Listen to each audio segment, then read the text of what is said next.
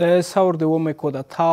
لا سپړو او د همدې موخې لپاره را سره همدا مهال له لندنه د سیاسي چرچرونکي ښاغلی سید بلال احمد فاطمي را سره مل دی فاطمي صاحب سلام مننه چې وخت مو راکړ نن د ثور اومه ده شپږ څلوېښت کاله وړاندې په دغه ورځ د جمهوري نظام لومړنی ولسمشر په ډیره بیرحمۍ سره په شهادت ورسېده د دغه ورځې د رامنځته کېدو لاملونه ستاسو له نظره څه دي؟ بسم الله الرحمن الرحیم عرفان صاحب تاسو قدرمن لیدونکو او اوریدونکو ته سلامونه احترامات وړاندې د دې ورځې لاملونه خو سیاسي نقطې نظر نه یعنی سیاسي ریشې لري او څنګه چې اوس موږ تاسو په دغه محل کې د لوی قدرتونو د جنگ په په یو جنجال کې نښتي یاستو چې په افغانستان باندې دا تهمتونه او دغه کیږي همدارنګه په هغه وخت کې هم د لوی قدرتونو د جنگ میدان افغانستان وو ځکه چې دلته امریکایانو که پروژې کولې روسانو به مخالفت خود او که روسانو به پروژې پلی کولې نو امریکایان به دغه کېدل دا ستونزې دلته موجود وې او په عین حال کې تاسو کتل چې روسانو دلته خپل لاسپوڅي یو څه اجنټان تربیه کړي وو او دلته غلامان موجود وو د هغه غلامان د داود خان تر شاوخوا راټولو تر څو پورې چې داود خان د دوی سره هم نظر او هم دغه و سره دې چې داود خان یو کمونست او د کمونست کمونیزم د فلسفې د مکتب غړی نه و مګر هم د خپل د قدرت د ترلاسه کولو لپاره د سیاسي اهدافو لپاره د همدغې روسانو د اجنټانو د دی ته په لاس باندې ولوبول شو کله چې د په خپل ځان راغی او د پاکستان او ایران او عربستان سعودي ته سفر وکړ تر څو دغه یو کلی او تغییر په صحنه د په منطقه کې راشي او عربانو بلخصوص شاه فیصل په اشاره د امریکایانو ورته سپین چک ورک چې ته روسان د دې ځن نور خلاص کا سمره چې قرض دی هغه ورته خلاص کا او میدان به دا شي کله چې دی بیرته راګرځي څنګه چې دې سره د هغه په کابینه کې د کې جی بي اولین ایجنټ او یو لوی غدار چې په نامه د جلالر وزیر د تجارت وو هغه روسانو ته اطلاع ورکوي چې بس ستا ګلم د دې نه ټول شوی دی نو که څه کولی شي هغه باید وکړي نو د دا سیاسي لامل د دې شو چې کله دی بیرته خاورې ته راګرځي مخکې له دنه چې خپل پلانونه عملي کی او وشي کولی چې هغه کوم سیاست مخه دی غواړي وګرځي د د په مقابل کې کودتا صورت فاطمي صاحب په بخنه سره زه غواړم دلته یو بل پوښتنه مطرح کړم هغه دا چې دغه کار د خدای بخلی داود خان سیاسي اشتباه وکړه سیاسي نوښت دا چې له روسیې څخه یې مخ واړاوه او امریکا ته غوښتل چې لاس ورکړي او تاسو په خبره چې ملک فیصل سپین چک ورکړ د امریکا له لوري ورته ګوره په د سیاسي د تخنیکی لحاظ نه به اشتباه په داسې ورته وي چې دې سره ګوره که چېرته دی په دې ښه پوهېده چې دی د روس نه مخ ګرځي نو د ځان سره باید د روسانو ایجنټان ځان سره نه ګرځولی دی ښه په دې پوهېده چې جلالر د هغوی سړی دی، دا باید دوی سره په دې مجلس کې نه وای. نو همدارنګه دوه درې کسه نور هم وو، ځکه چې په هغه زمان کې مافوق د خلق او د پرچم د ګوند نه هغه کسان چې حتی د ګوند نه اوچت وو، یعنې د روسانو سره یې مستقیمې اړیکې درلودلې، په هغې کې خپله جلالر و، شاه محمد دوست و، عبدالرزاق ضیايي و، محمد اکبر رئیس د دفتر د داود خان و او علي محمد وزیر و، حسن شرق، دا شپږ د روسانو ایجنټانو چې که جی بی ته مستقیما کار کاوه او دا داود خان ته ښه معلوم و د د د اسن شرق نه خو په 1914 اوم کې ځان لري که هغه ځان نه لري که مګم نور بیا هم شاوخوا پاتې او کله چې د پالیسی بدلوي که دغه جلالر د سره نه وای او د دې ایجنټان نه وای نو د تخنیکی لحاظ نه دا سیاسي اشتباه وه اما د نوښت د لحاظه یو سیاسي نوښت و چې دې غوښته خپل مخه تغیر کړي کیدای شي په هغه پالیسی او په طریقه کې دنه غلطي اشتباه وشوله او هغه اشتباه باعث د د ژوند د تباهي او د کورنۍ د تباهي وګرځیدل چې د خپل د کورنۍ اته لس زنه چې په هغه کې اته ماشومان هم موجودو هغه د لاسه ورکړل او جنایتکاران او د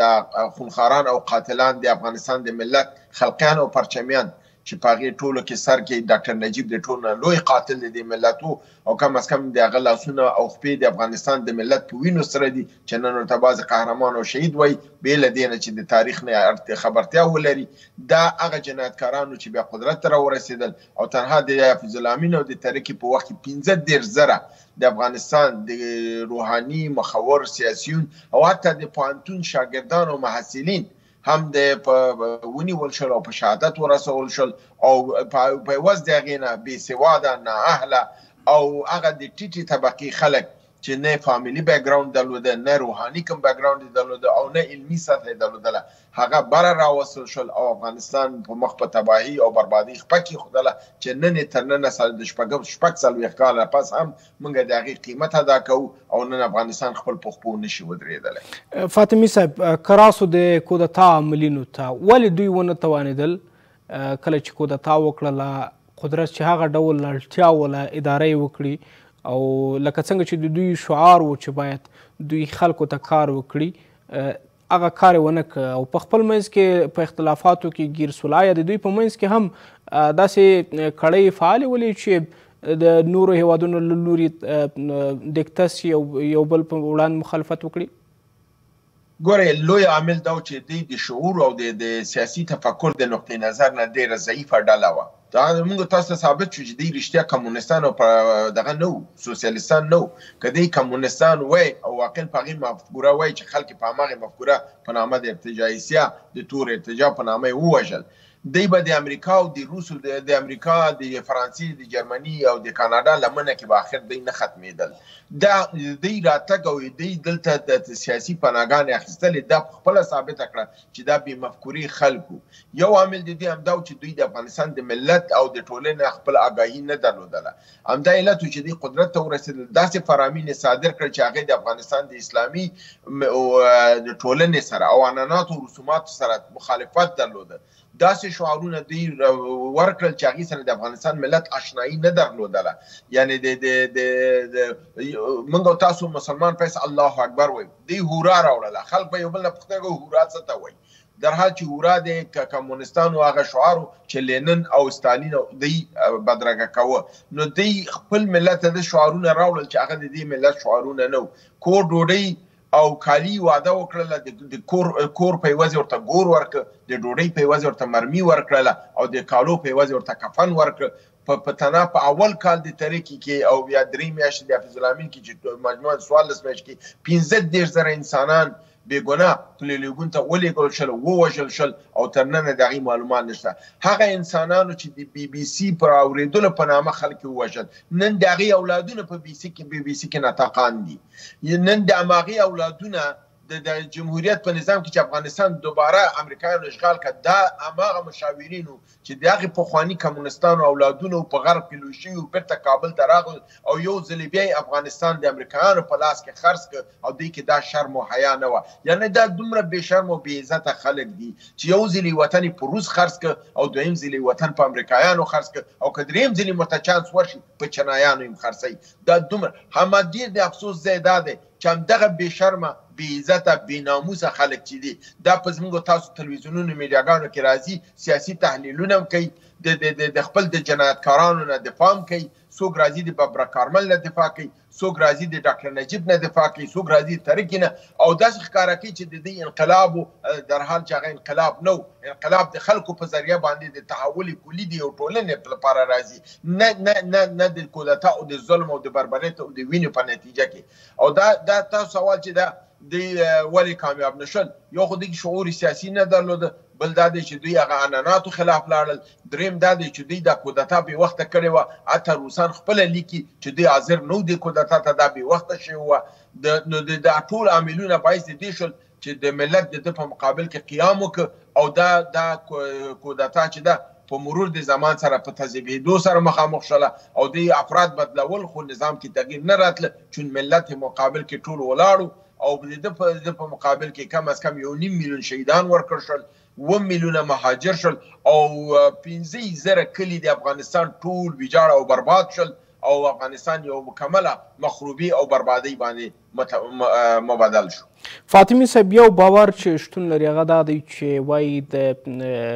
خلق د ګوند حفیظ الله امین چې یو موده مشري واخیستله دغه مهال حکومت ویل کېږي چې هغه له امریکا سره اړیکې درلودلې او د دې لامل سو چې تر هغو پورې په هغه باندې هم کودتا وسي او د هغه وخت د شوروي د سرتېرو لپاره د مستقیم مداخلې زمینه مساعده سي کله چې حفیظ الامین ووژل شو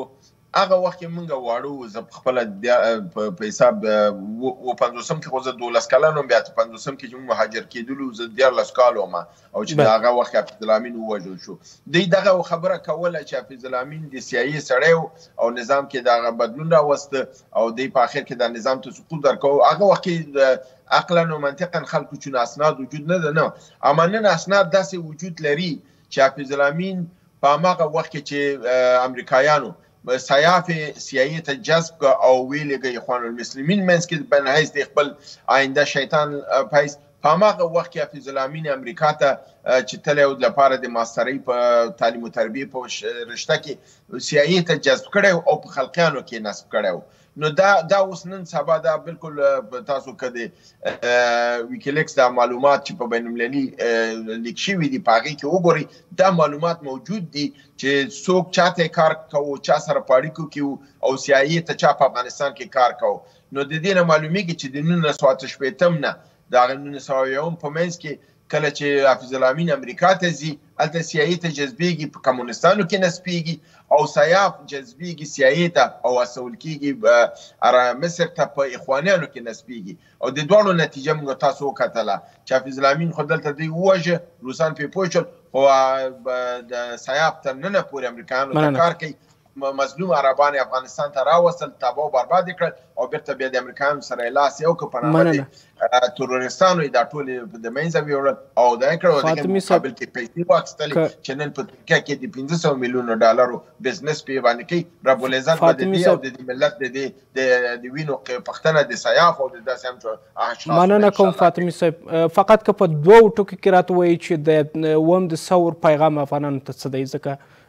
وخت کم دی. د لنډ پیغام د د شپږ څلوېښت کالو د د د وم د سو نه څنګه ما تاسو دغه شپږ تنو جنایتکارانو نومونه واسچې د ایجنټانو افغانستان خلک باید دا یو درس واخلي چې دلته څوک چې ایجنټانو ایجنټانو د افغانستان دغه څوک چې جاسوسانو